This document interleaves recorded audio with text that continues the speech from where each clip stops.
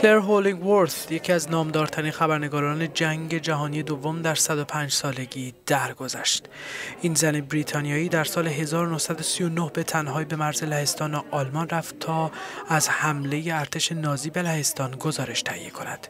او گزارشگر روزنامه دیلی تلگراف لندن بود.